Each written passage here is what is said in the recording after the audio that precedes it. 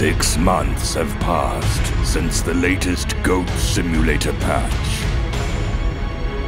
Gamers have been requesting another free expansion. Now, the time has come for the lazy developers to turn on their computers once again.